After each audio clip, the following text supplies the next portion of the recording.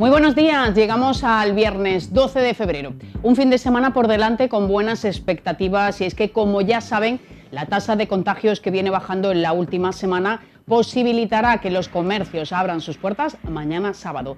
Valoraremos esta medida en lo económico y la estrategia en lo sanitario con la puesta en marcha de cribados entre la población juvenil. No todo será coronavirus, así que nos sumergiremos en la celebración de San Valentín. Visitaremos una de las mejores pastelerías de Marbella, Goyo, para saber cómo nos endulzamos la vida. Nos haremos eco del estudio que ha lanzado la empresa sevillana de la conocida Ginebra Rosa sobre las preferencias a la hora de ligar, que han cambiado completamente durante la pandemia. Las redes sociales son el espacio estrella para desbancar, obviamente, a los bares y fiestas. Repasaremos los tratamientos estéticos más demandados en estos momentos con la clínica Miró. Echaremos un vistazo a lo último en baños boutiques con Chus Fernández y una primicia. Os contaremos el último proyecto empresarial de Marcos Granda, el restaurante japonés Nintai. Cerraremos el círculo como cada viernes con debate en tertulia sobre actualidad. Enseguida lo contamos, antes las noticias.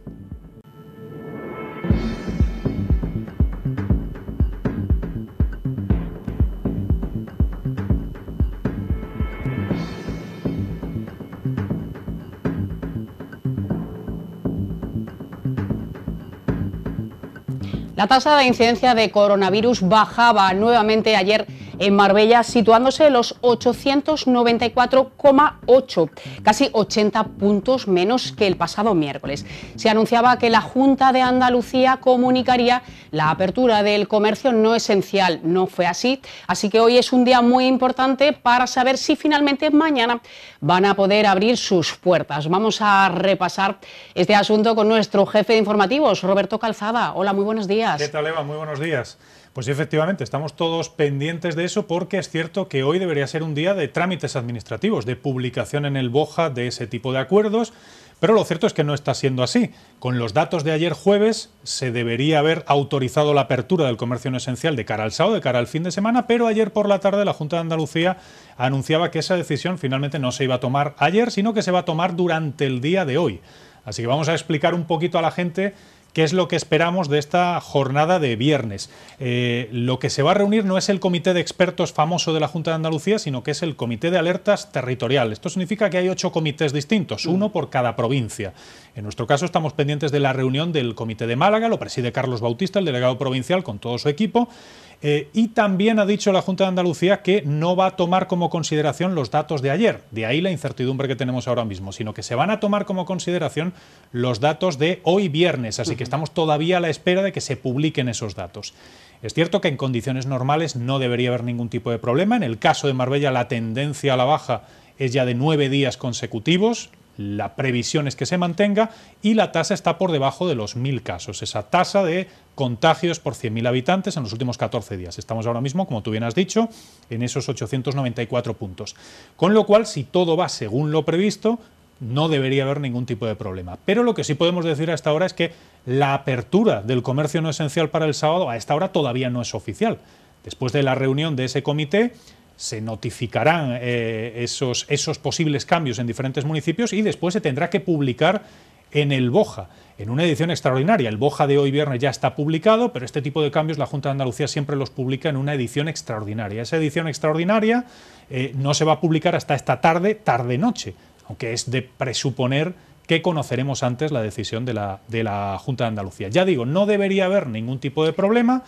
Pero es cierto que esta es una decisión que en principio se iba a haber tomado en el día de ayer y se iba a haber anunciado y hecho oficial en el día de ayer y no lo ha hecho, con lo cual seguimos con esa cierta incertidumbre. Y no sabemos tampoco el motivo, ¿no? Los comercios ya se han lanzado a comunicar que mañana abren sus puertas, pero evidentemente oficialmente no tenemos absolutamente nada. Es cierto, como tú bien decías, no sabemos los motivos. La Junta alude a, detalles técnicos, pero parece que no ofrece más eh, datos y sí que confirma que la reunión se va a producir en el día de hoy. Vamos a recordar también que eh, el caso de Marbella obviamente es el que nos importa. Vamos a recordar que en la provincia de Málaga no es el único municipio eh, que está pendiente de esta decisión. Málaga Capital le pasa exactamente lo mismo. Su comercio no esencial está cerrado. Otros municipios cercanos como Estepona están exactamente igual. Eh, así que todos están esperando esa decisión. Sí que hay que decir que en la provincia de Málaga eh, los municipios que presentan una eh, peor tasa, por así decirlo, una tasa más complicada, son Estepona, que está por encima de los 900, y nuestro caso, Marbella, 894. Eh, es cierto que para que en el día de hoy se comunicasen unos datos con los que volviésemos a superar esa tasa de 1000, se tendría que dar una tendencia, Eso sería muy raro. una especie de explosión de casos, por así decirlo, que no es previsible. Obviamente la tendencia de la, de la tasa puede cambiar, eh, pero de ahí a que suba a mil, puntos, a, mil puntos, es subir más de 100 puntos en un día, tendría que darse una cantidad de contagios enorme durante el día de hoy, que no es la tendencia que venimos arrastrando. estamos muy por debajo. Eso es. De hecho, eh, ayer contábamos, por ejemplo, en nuestro informativo, ayer se registraron 82 casos y llevamos tres días consecutivos en los que eh, se notifican menos de 100 casos diarios. Eso sigue siendo una incidencia muy alta, pero por ejemplo es un dato que no se daba desde principios del mes de enero. Es decir, venimos de una situación aún peor y no es previsible que en un día las cosas vayan a cambiar de manera tan radical que se vuelva a superar esa tasa de mil. Pero bueno, a la espera estamos, eso es cierto. Todavía no hay, no, no podemos decir que oficialmente se vaya a poder abrir sin ningún tipo de problema el comercio no esencial durante la jornada de mañana sábado, porque la Junta todavía no lo, no lo ha autorizado. El cambio, la revisión quincenal pasa a ser semanal. Tendremos que ver también cómo evoluciona el día exacto en el que se anuncia, cuando se revisa. Sí, es otro de los factores que sorprende eh, porque eh, el presidente de la Junta, Juanma Moreno, ya ha anunciado esta semana eso que tú bien comentabas, que la reunión pasa a ser semanal, pero incluso esa reunión él mismo confirmó que iba a ser los jueves. Es decir, debería haber sido en el día de, ayer, pero esta semana de manera excepcional, eso sí lo ha recalcado la Junta, de manera excepcional va a ser el viernes. Eh, hay municipios como Marbella que están pendientes de esta reunión, hay otros que están todavía incluso más pendientes. Por ejemplo, Almería Capital es una ciudad que tenía una tasa de 1008, previsiblemente en el día de hoy baje de esa tasa y quizás se beneficie de ese cambio de día. En cualquier caso, habrá que esperar. Eh, de todas maneras, eh, estos días estamos muy pendientes, obviamente, de la reapertura del comercio no esencial, de la vertiente económica del coronavirus, porque es cierto que ahora sí, después de un mes de enero que ha sido muy complicado, pues llevamos esa tendencia de 10 días de, de, bajada y nos permite mirar a ello. En nuestro informativo en el día de hoy vamos a mirar a eso. También vamos a estar pendientes de otros datos, de otros detalles. Por ejemplo, los de fallecimientos y hospitalizaciones. Es la cara B. quería preguntar. Es la cara B de esta pandemia, es cierto, porque ahora la tendencia en el número de casos es a la baja, pero el número de hospitalizaciones y el número de fallecimientos siguen al alza. Parece que no vamos a alcanzar ese pico hasta la semana que viene, en que también previsiblemente comenzarán a bajar. Pero eso nos indica que la incidencia sigue siendo muy alta. Por ejemplo, en el mes de enero hubo 25 fallecimientos en Marbella por coronavirus. En lo que llevamos de febrero, que son apenas 10 días, no llegamos a la mitad de mes, ya estamos en esa cifra de 25 fallecimientos, con lo cual febrero será previsiblemente peor. Y las cifras de hospitalización en el Hospital Costa del Sol, eh, si lo miramos por semanas, lo vamos a contar en el informativo, las tres últimas semanas vienen batiendo récords, 150, 166. La semana pasada 186 hospitalizaciones en el distrito. Esta semana falta completarlo con los datos del día de hoy, eh, pero eso nos indica que la incidencia sigue siendo alta y que hay que tener muchísimo cuidado porque aunque los casos van a la baja, las hospitalizaciones y los fallecimientos todavía no han alcanzado ese pico y evidentemente esto sigue existiendo, sigue estando en la calle. Obviamente la vertiente eh, económica es preocupante eh, y hay que tenerla muy en cuenta. La sanitaria también lo es, con lo cual hay que seguir eh, abra o no abra el comercio esencial con muchísimo cuidado y con muchísima precaución. Claro, y conocer la repercusión que va a tener. Los datos, las cifras suelen salir en torno a las 12, aunque también eh, se retrasan cada vez más. Sí, efectivamente, hemos vivido una semana un tanto atípica en la que esas cifras hasta las 2, 2 y media no se han hecho públicas. Voy a recalcar eso de hecho públicas.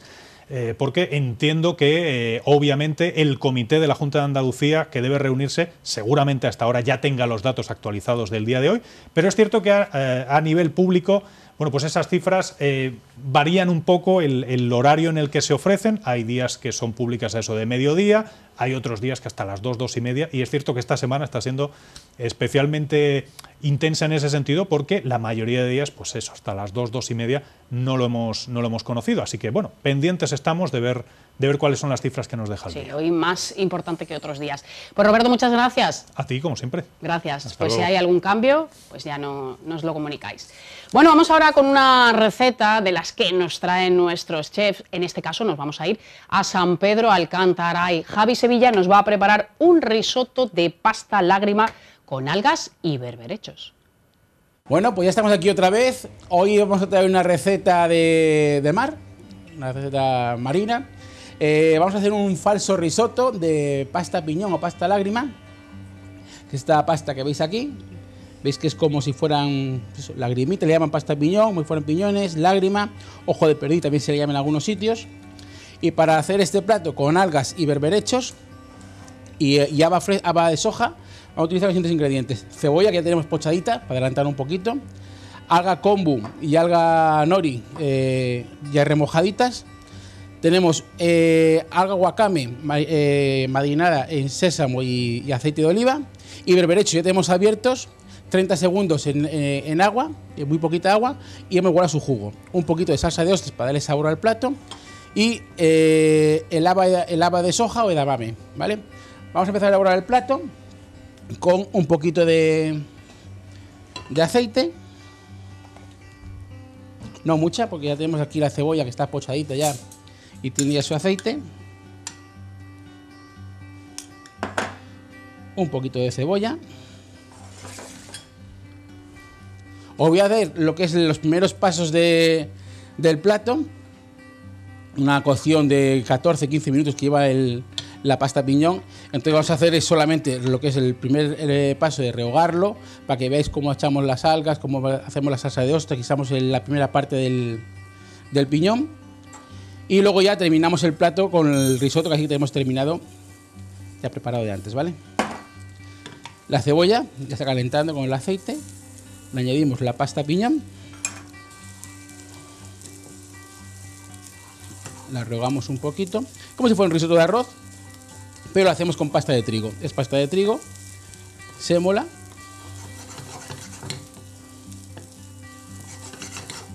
Una que esté rogadita le echamos un poquito de salsa de ostras, muy poquito porque es un sabor muy potente, muy potente.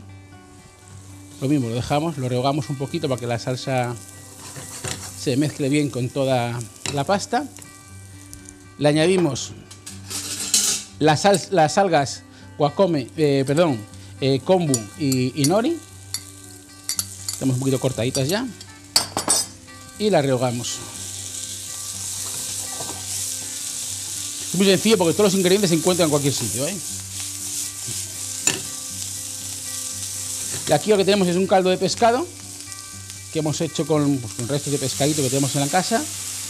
Y poquito a poco le vamos a ir añadiendo el caldo para que la pasta se vaya, se vaya cocinando y va soltando el, el, almidón que tiene el trigo, ¿vale? Entonces, al mínimo siempre muy despacio, porque yo digo lleva 12, 14 minutos hacer este plato vaya muy, muy despacio. Y lo que hemos hecho con el alga wakame es picarla muy finita y la metemos marinada, como os he dicho antes, con sésamo blanco y aceite de oliva. Y un poquito de aceite también de sésamo. Este alga se lo vamos a echar justo al final para ligar lo que es el, risotto. Y los berberechos también, con su juguito al final, para que, como ya están cociditos, que no se pase mucho el, el berberecho. Añadimos las habas para que se vayan cocinando despacito. Las habas las voy a echar un poquito antes, un poquito después, no importa, ¿vale? Y ahora ya vamos a pasar al que ya tenemos preparado, que le falta las habas, el haba de soja, un poquito de calor, un poquito de caldo, para que se acabe de, de cocinar esos tres minutitos que le quedan, dos minutos.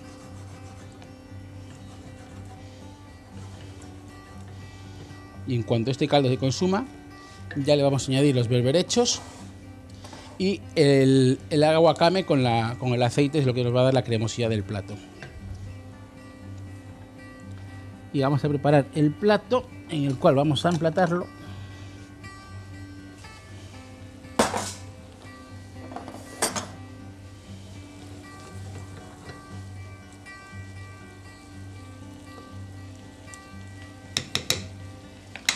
es una receta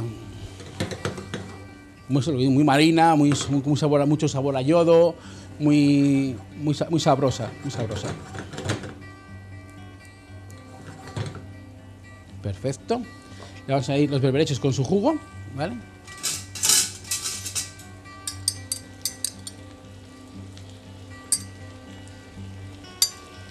Primero el jugo para que le dé sabor. Le vamos a añadir ya el aguacame con el sésamo.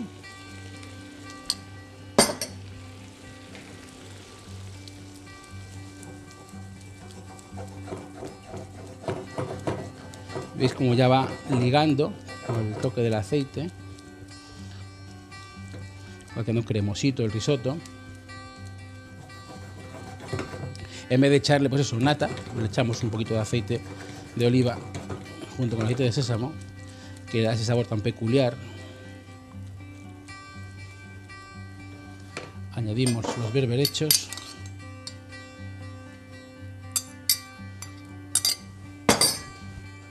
Y ya con el calor residual que le queda al, al, risotto, pues ya los berberechos se van, se van calentando, como yo digo, ya están hechos, tienen que estar eh, tersos, duritos, para que tenga más sabor y más agradable en la boca. Y bueno, pues ya simplemente lo emplatamos en el plato que más nos guste.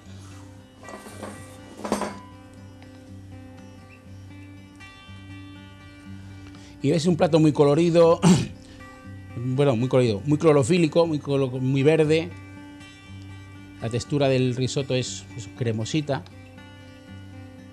¿Vale? Y ya para terminar, lo vamos a decorar con un poquito de este alga. Y una ensaladita.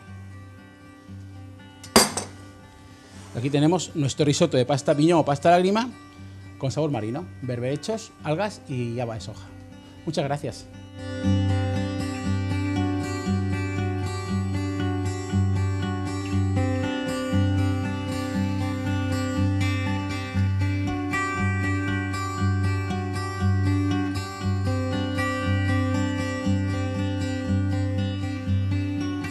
Muchísimas gracias Javi Sevilla por este plato estupendo. No os podéis quejar de las recetas que os traemos. Y vamos a cambiar de asunto. La pandemia nos obliga a estar más tiempo en casas, para muchos a teletrabajar, pero aún así no hay que descuidarse y nos preocupamos sobre todo de la cara.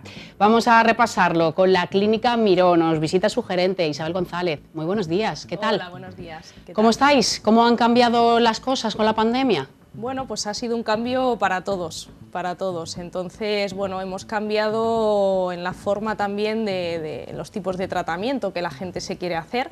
Aprovechamos también la mascarilla para hacer tratamientos que antes no podíamos hacer y que ahora, pues bueno, gracias a la mascarilla pues nos tapamos más o estamos más tiempo en casa. Entonces, pues aprovechamos para hacernos eh, tratamientos un poco más agresivos, como peeling, eh, láser, eh, quitarnos las manchitas, ese tipo de cosas que cuando tenemos una vida normal, como teníamos antes, pues no podíamos hacer.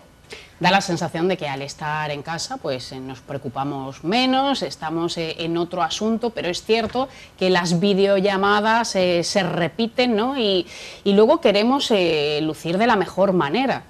Yo creo que también es esa esperanza de que todo esto va a pasar entonces eh, miramos un poco al futuro y ahora pues eh, todos los pacientes cuando vienen se preocupan más de la calidad de la piel, no tanto a nivel superficial, sino que empezamos a preocuparnos pues eso, si tenemos eh, lentigos solares, si tenemos rosácea, ese tipo de cosas que a lo mejor antes pues no nos preocupábamos tanto y nos preocupamos más en los labios, en el botox, en ese tipo de tratamientos y ahora pues es verdad que hay una tendencia a, preocuparse más por la salud de la piel, hacer ese tipo de tratamientos con la esperanza de en verano todos vamos a salir guapísimos a la calle. Bueno, esto es positivo, ¿no? También mm. cuidar la salud de la piel y, y, de nuestro cuerpo. Lo que sí que es cierto es que en este momento estaríamos en plena operación bikini, tenemos la Semana Santa prácticamente aquí y ahora el cuerpo pasa a un segundo término, ¿no? Totalmente. Sí que hemos eh, notado pues, ese descenso de los tratamientos corporales y un aumento en esos eh, tratamientos faciales. Eh, la gente bueno, está más preocupada por su cara que, por su cuerpo. No sé si es por la pandemia o, por qué, pero es verdad que hay una tendencia, eso está claro. Y a partir de eso, bueno, pues cada persona pues tendrá sus, sus razones, ¿no? De por qué se preocupa más eh, de la cara que del cuerpo, pero esa es la tendencia. Sí, esa es la realidad. Mm. Vosotros lleváis dos años en Marbella, una pandemia de por medio. Mm. ¿Cómo ha ido este periodo? ¿Cómo os ha aceptado el público marbellí?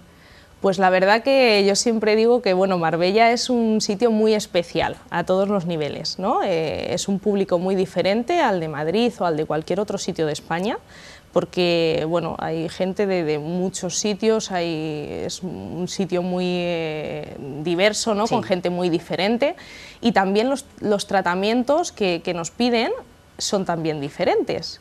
Entonces, bueno, nos hemos ido adaptando a, este tipo de, pacientes y la verdad que, bueno, estamos muy contentos porque hemos tenido muy buena aceptación, eh, hemos venido con una propuesta que pensábamos que, aquí era necesaria, eh, traer una seguridad, traer bueno, pues, eh, una belleza natural, que era sobre todo lo que nosotros queríamos imponer aquí en Marbella, pues hacer tratamientos estéticos pero con una naturalidad, que, sea, bueno, que te vean mejor pero que no sepan lo que te has hecho. Esa es nuestra propuesta. ¿Cómo se puede conseguir envejecer de la mejor manera? Bueno, pues eh, cuidando eh, nuestra piel. Al final, eh, bueno, las arrugas tienen que estar. Yo siempre digo que la, bueno, la arruga es bella entre comillas, ¿no? siempre podemos mejorarlo, pero tampoco tenemos que hacer algo que, o sea, una, cara que no es nuestra. Cuando hacemos un relleno, siempre el doctor San Martín siempre dice que, bueno, tenemos que recuperar lo que hemos perdido, pero no poner algo que no teníamos. Ahí está el límite de la naturalidad y, de lo que no es natural. ¿Sigue siendo el Botox uno de los tratamientos eh, más demandados? Sí. Sí, sí. Eh, en medicina estética sí, pero también he de decirte que ahora lo más demandado son las manchas. Eh, el, cuidado de, las manchas de la piel y la rosácea. Es incluso más demandado que, la toxina. Es muy curioso este cambio. tenemos que decir que el sol hace muchísimo daño y habría que empezar primero por poner una barrera. Luego corregimos ¿no? los pequeños mm. defectos, eh, esos daños, pero claro, hay que empezar por el principio. La verdad que el, doctor San Martín pues, eh, se ha tenido que adaptar a, Marbella porque bueno, nosotros eh, trabajamos con, con Norlis, eh, el IPSE es una, es una luz pulsada que es, un, es el mejor eh, aparato que hay de luz pulsada ahora mismo en el mercado y hemos tenido que adaptarlo porque los parámetros que se utilizan en Madrid no podemos utilizarlo aquí. No tiene nada que ver. Nada que ver, nada que ver. Hay que poner potencias muy bajitas, hay que tener muchísimo cuidado porque aquí tenemos 365 días el sol en la calle. Entonces, ¿qué pasa? Que la melanina pues está mucho más activada. Entonces hemos tenido que adaptarnos a los pacientes de aquí. Es, completamente diferente el número de sesiones. A partir de marzo ya no hacemos IPL, cosa que en Madrid prácticamente lo hacemos durante todo el año, excepto en, agosto, pero aquí es imposible porque... tomamos mucho el sol. Mm aunque no sea tomar el sol en la playa, pero tú vas a tomar un café y estás en el sol. Eh, aquí tenemos las terrazas abiertas todo el año, entonces eh, hemos tenido que adaptarnos a, este tipo de pacientes. Aparatología, fundamental, imprescindible estar eh, con las últimas novedades. Imprescindible. Aparte de eso, de estar con las últimas novedades, ofrecer una seguridad es muy importante que todos los aparatos tengan unos certificados que se llaman FDA, estos son de los Estados Unidos, es un certificado que, pasa un control eh, como un control de medicamentos. Esto quiere decir que hay unos estudios clínicos detrás. Eh, eso nos da unas garantías de seguridad. Por un lado, que no nos vamos a, no vamos a producir una quemadura, que nos está dando una seguridad, y por otro lado, que realmente eh, esto funciona, porque si hay un estudio clínico detrás, nosotros tenemos casos reales. Entonces es muy importante, aparte de tener lo último, tener lo último, pero tenerlo bien. No solo sirve con tener el último aparato que haya salido, sin tener unos estudios clínicos detrás. La depilación con láser se ha puesto muy de moda. ¿Aquí qué es lo que tenemos que tener en cuenta a la hora de elegir un centro?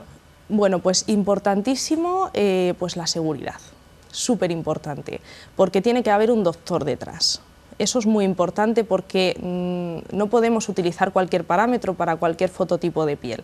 Entonces tenemos que estar respaldados por un doctor, eso por un lado, y por otro lado eh, un profesional que sepa qué láser tenemos que utilizar para el tipo de piel. Nosotros en concreto tenemos un láser de diodo que para mí es lo mejor y los pacientes lo pueden, lo pueden decir porque es para cualquier fototipo de piel.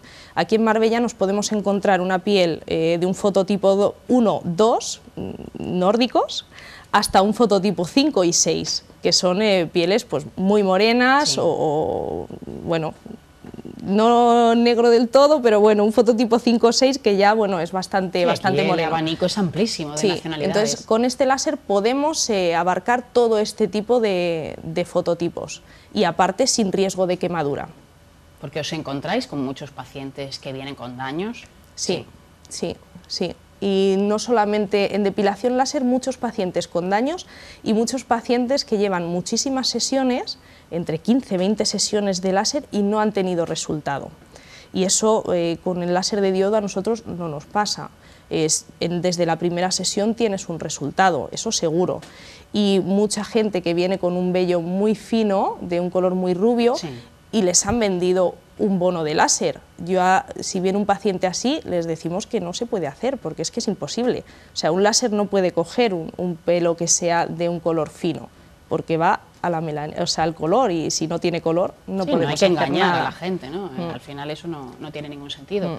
¿Los hombres se están cuidando más? Sí, también. ¿En qué proporción?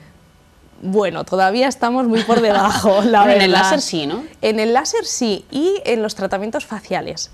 Bueno, es verdad que las, mujeres les estamos empujando, y ahora para San Valentín también lo hemos visto, ¿no? que, las, mujeres o las, novias pues les están regalando tratamientos faciales para los hombres, y, la verdad que están encantados. Pero bueno, la proporción eh, aún tenemos mucho que, hacer, eh, será un 10%, un 15% de de los pacientes. Poquito. Muy poco, muy poco. Lesiones vasculares benignas también. También. No hablamos ya solamente de tratamientos estéticos. Sí, eh, bueno, se puede tratar eh, que son esas, esas, lesiones vasculares, para facial, para corporal, y bueno, controlar rosáceas, todo esto se hace con la luz pulsada, con IPL, combinación de IPL y láser CO2. El doctor va, vamos eh, viendo cómo va evolucionando el paciente y en función de eso pues utilizamos una cosa u otra. Bueno, Isabel, ahora que tenemos aquí el día de San Valentín, si nos queremos autorregalar un tratamiento, pues, ¿Qué nos eh, recomiendas? Os recomiendo que nos probéis con una limpiecita, una, limpieza facial que va estupendamente, lo hacemos con oxígeno, con oxígeno puro, no, no, dañamos la piel. Y bueno, es un tratamiento súper relajante, un masaje también, un, masaje relajante, tenemos a Eva Masalkova que es una, una especialista en masajes, ella viene dos veces por semana y bueno, es un lujazo. O sea que cualquier tratamiento es bueno para, para autorregalarnos. Pues Isabel González, gracias y que vaya todo muy bien. Muchísimas gracias. Gracias. Hasta luego. Hacemos una pequeña parada para la publicidad. Nos tomamos el segundo café del día y enseguida volvemos. Hasta ahora.